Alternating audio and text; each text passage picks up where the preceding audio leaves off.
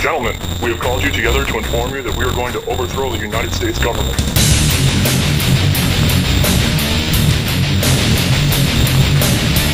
You still think that jet fuel brought down the World Trade Center? Does anybody else see a problem here? If the government has nothing to hide, why are they so afraid to answer a few questions? This story does not add up.